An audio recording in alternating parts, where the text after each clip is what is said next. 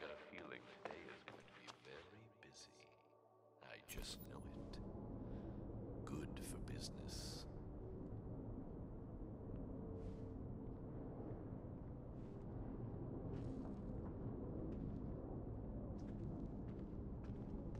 Give it up for the maintenance crew.